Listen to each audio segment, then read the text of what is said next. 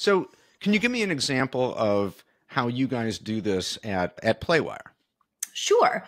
So I'll just take one example of a topic that we go over, which is header bidding. And if you're, you know, into ad monetization and really nerdy, you'll know what that means.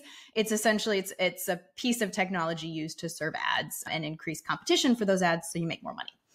I'm going I'm really really oversimplifying it, but in general. And what we've done in order to create content around this cluster is we have this really in-depth guide on how to do header bidding if you want to do it yourself. It's 4,000 words. It's super in depth. It's like reading a book. And then we have our supplemental content, which makes up the breadth part of the T, which is a bunch of subtopic articles on smaller topics within header bidding as a category, right? So it might be what is a header bidding wrapper? How do you build a header bidding integration? We're starting to get a little bit longer tail with the keywords that are related to header bidding, the, the high level topic, if you will. And then what we've done is interlink that in a hub and spoke type of diagram. So you have your pillar, your long form piece of content in the center, and that needs to link out to all of those subtopic mm. articles. And each of those subtopic articles need to link back in towards the pillar.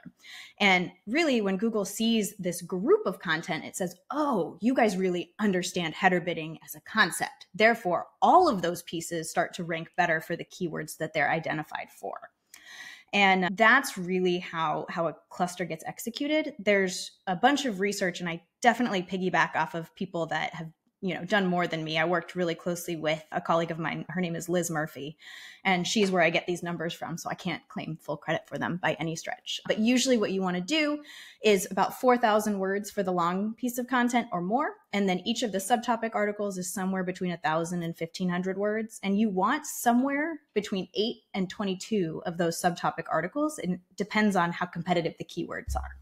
Mm-hmm. Okay, wow, great example. And I really like that image of the the wheel. Mm-hmm. Right? So yeah, it's easier the, to visualize that way. yeah, right. The main thing at the center, like the main mm-hmm. nugget, and then everything spoken out, and it's all connected going both ways. Correct. Basically. Right. Okay. So this seems like a really good strategy right for seo and to as you said let google yep. know like hey we, we really know what we're talking about on this topic how can you mess this up what should you not do when trying to put this into action? Well, I would say honestly, the biggest thing where I see people mess up is just not finishing because it's a long term play, right? Mm. It's, you know, if we go between 8 and 22 subtopic articles plus the long piece of content, we're talking at least about nine pieces of content to finish a single cluster, right? Like it's not something that you just do them all at once and then release them. It fits into your overall editorial calendar. And depending on the volume of content that you produce, once a week, twice a week, three times a week, it can take a while to produce, right? And get all the way to the finish line. Mm. I don't know about other marketers, but there usually is a lot of requests in marketing department that tend to mm. distract us. Oh, we need this, we need that. And so it, it can mm-hmm. push us off the plan if we're not just consistent with that regular production and getting to the end of the strategy. So quite honestly, the biggest mistake I see mm. is people just not finishing. So it doesn't even get off the ground if you do get mm-hmm. off the mm-hmm. ground, the biggest mistake that I see is people not making the most of content that's already out there and produced, that's coming mm. back and refreshing it, that's re optimizing it, that's making sure that we're constantly keeping an eye on it to get it across the finish line. What you'll find is that you'll release content and then within a few months, you'll start to see it ranking.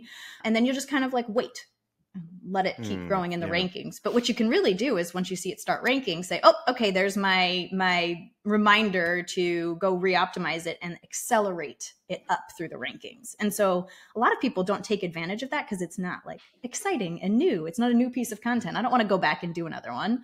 But that's actually where the bulk of the results come from.